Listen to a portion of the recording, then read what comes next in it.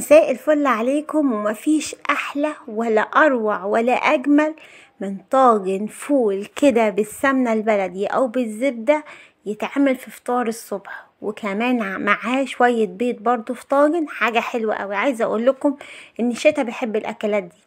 تعال أقول لكم إزاي بنعمل طاجن الفول ده من بداية التدميس. عايزة أقول لكم إن الفول اللي أنتوا شايفينه قدامكم ده مش طازة ولا حاجة.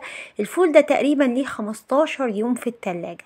لا لونه غمق ولا طعمه اتغير ولا حصل له أي حاجة كأنه بالظبط لسه دلوقتي معمول.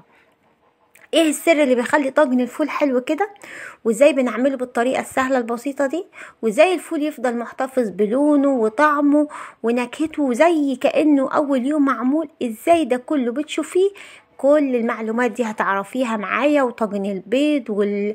والجبنة المحبشة المشطشطة والعيش بقى المقمر كده وشوية المخلل ما عايزة أقول لكم إن ده مش فطار يعني ده مش فطار عادي يعني. آه تعالوا نشوف عملنا إزاي بس ما تنسوش بقى like و share تشتركوا في القناة فعلوا الجرس على كلمة الكل. ما تنسونيش بقى في comment حلو يشجعني. يلا نبدأ ونشوف عملنا أحلى طاجن فول وعملنا الفول إزاي.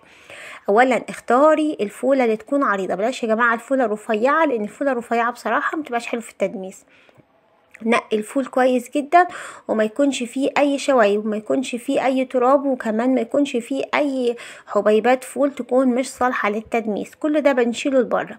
بعد ما بغسل بعد ما بنقيه بغسله. طبعا لازم الفول يتغسل قبل النقع يا جماعة. نغسله كده فم حلو تحت الحنفية. وبعد كده بنقع الفول لمدة ساعتين في مية عادية خالص مية من الحنفية عادية. بحط عليه معلقة سكر في النقع. مش بحط أي حاجة تاني غير معلقة سكر. وبحط كمان معلقة صغيرة من الخل علشان خاطر تضيع أي ريحة كده تكون الفول وده اللي بيخلي الفول يبوظ. بعد كده ببتدي إن أنا أقلبهم وأسيبهم كده لمدة ساعتين. بعد ساعتين بنبتدي بقى عملية تدميس الفول. عشان عايزة أقول لكم إن الفول ده مش ما يعني مش موضوع سهل يعني مش موضوع إن إحنا ندمس الفول كده يعني مش حاجة سهلة كده. بعد كده ببتدي إن أنا أجيب الحلة بتاعتي بصفي الفول كويس جدا من المية اللي أنا نقعها وعايزة أقول لكم إن المية اللي اتنقع فيها الفول دي ما ينفعش أصلا إن إحنا نطبخ بيها الفول. يعني لازم نصفيها ونحط مية تانية. عشان البقوليات بتنزل مادة يا جماعة مش مش بتبقى كويسة في النقع. فلازم نتخلص منها سواء الفول. الفاصوليا اللوبيا البسلة أي حاجة بتتنقع حمص العدس كل الحاجات دي لازم المية بتاعتها نتخلص منها. طبعا لو في جزر أو الموسم بتاع الجزر هتحطوا جزراية كده تكونوا مقشرينها وغاسلينها ومقطعينها رفيع. كمان تجيبوا طماطمايه يعني طماطمايه نص طماطمايه أنا المقدار اللي أنا عاملاه ده حوالي نص كيلو من الفول. طبعا أنتوا تقدروا تعملوا تعملوا كيلو كامل نص كيلو براحتكم يعني. إحنا عامة هنعمله على البوتاجاز يعني مش هنستخدم دماسة النهارده آه كنوع من أنواع التغيير. هحط بقى الجزر والطماطم بالشكل ده آه على الفول اللي أنا نقعاه وببتدي إن أنا أقلبهم كده عشان الحاجات دي تبقى مع بعضها متبقاش على الوش بس يبقى الفول كله واخد اللون الحلو.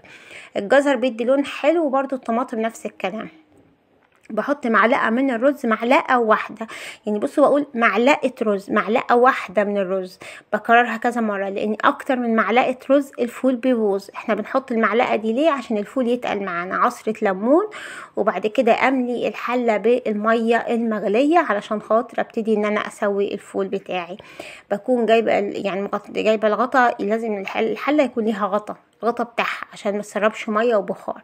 هبتدي أولع البوتاجاز وأحط الفول على أقل عين وبعد كده بحطه قد إيه؟ على أقل نار برضو يعني أقل عين وأقل نار وأحط معاه معلقة سكر صغيرة زي ما أنتوا شايفين وأبتدي أسيب الفول يغلي يعني 3 4 غلوات كده زي ما هوريكم دلوقتي.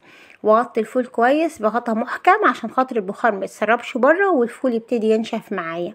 أنا مش عايزة أستخدم مية كتير في, تز... في يعني في سوى الفول بس كمان في نفس الوقت مش عايزاه ينشف. أول ما بياخد 3 4 غلوات كده يا جماعة ببتدي إن أنا أجيب نص كوباية من المية أحط عليها معلقة صغيرة من النشا وأبتدي إن أنا أقلبهم على البارد وبعد كده ببتدي أضيفهم على الفول. دي لازمتها إن هي بتقل مية الفول وبتخلي الفول يبقى تقيل كده مش بيبقى خفيف يعني مش بيبقى زي المية كده بيبقى زي فول العربية بره بيبقى تقيل كده وحلو. هي دي السر بقى هي دي الأساس في تدميس الفول. بسيب الفول كده يغلي بالشكل ده وابتدي إن أنا أقلبه وبعد كده بسيب الفول خالص على البوتاجاز لمدة ساعة كاملة. بعد ساعة هوريكم شكله. أنا ما أخدش الفول معايا أكتر من ساعة لأني نقعاه ولأني الفول عريضة ولأني حطاه على نار هادية وكمان مغطياه بغطا محكم. الحاجات دي هي اللي بتخلي الفول يدمس معاكي بسرعة قوي مش بياخد وقت كتير. تعال نشوف بعد مرور ساعة كاملة الفول بقى شكله زي ده. الفول بعد مرور ساعة كاملة. المية منشفتش ولا أي حاجة بالعكس المية بقت تقيلة وحلوة كده والفول لونه حلو وريحته جميلة جدا جدا. والليمون يا جماعة مخلي الفول متفتح كده يعني مش مش مغمق ولا أي حاجة. شايفين؟ شكل الفول حلو كده وفاتح وبصراحة شكله يفتح النفس. هنبتدي. أنتوا لو عايزين تسووه أكتر أنا بالنسبة لي التسوية دي حلوة يعني مش عايزاه يبقى أكتر من كده. لو أنتوا عايزين تسووه أكتر من كده سيبوه كمان ربع ساعة. لو أنتوا شايفين إن التسوية دي ممتازة خلاص كده تطفوا على الفول وتعالوا نعمل طاجن الفول. وتعالوا أقول لكم لو أنتوا عايزين مش عايزين كل كمية الفول دي تعملوا فيها إيه. دي الحلة بتاعت الفول بتاعتي دلوقتي. أنا مش هستخدم كل الفول ده أو مش هاكل كل الفول ده. هقول لكم دلوقتي الأول هنغرف طبق كده واوريكم قد إيه شكل الفول حلو وجميل جدا ولونه جميل وشايفين والفول عريضة والمية بتاعت الفول تقيلة مش خفيفة كده شايفين؟ دي دي يعني دي آه السمات اللي بنقول عليها بتطلع معانا فول حلو. ده بقى مواصفات الفول طبق الفول الجامد يعني. حط شوية مية كده لأن المية مش خفيفة لأ مية تقيلة كده وحلو. تقدروا بقى تعملوا الفول بالسمنة بالزبدة بالزيت الحار بالطحينة آه آه حتى في ناس بتحب الفول كده من غير أي حاجة يعني هي بتبقى أذواق. بس أنا هوريكم حاجة كده حلوة للفول تقدروا فكرتين كده تقدروا تعملوا رشة ملح خفيفة ده الطبق الفول العادي يعني اللي هو مفيهوش افتكاسات. رشة ملح خفيفة ورشة كمون مطحون وطبعا معلقة من الزيت الحار وطبعا سبت لكم هسيب لكم لينك الزيت الحار في صندوق الوصف. وطبعا شوية شطة كده حامية وعصرة ليمونة. ده بيكون طبق الفول جاهز معانا خلاص طب لو عايزين نعمل الطاجن بنجيب الطاجن معلقة سمنة أو معلقة زبدة نسخنها. بعد كده بنزل عليها الفول اللي أنا آه ملحته بس ما هحطش فيه بقى زيت هنا خلاص ولا أنا هحط بس التمليحة بتاعة الفول من غير ما أحط الزيت أو السمنة لأن السمنة أنا حطاها في الطاجن. وبعد كده بحط الفول وأديله تقليبة وبعد كده بدخله الفرن لمدة عشر دقايق بيطلع تحفة. وممكن كمان نعمل جواه بيض يعني نكسر جواه بيض بيبقى تحفة تحفة تحفة.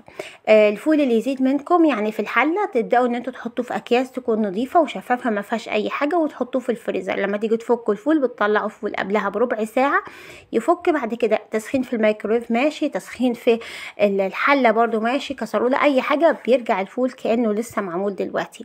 أتمنى تكونوا استفدتوا النهاردة من حلقة تدميس الفول وتجربوه على طريقتي وقولوا لي بقى الوصفات اللي أنتوا حابين تشوفوها الفترة اللي جاية. آه ولو عجبكم الفيديو ما تنسوش بقى like و share تشتركوا في القناة تفعلوا الجرس على كلمة الكل. ما تنسونيش بقى في comment حلو يشجعني. وما تنسوش بقى تتابعوا صفحتي على الفيسبوك واسيب لكم لينك الصفحة في صندوق الوصف تحت الفيديو. بألف هنا وشفا يا رب وأشوفكم دايما على خير قريب.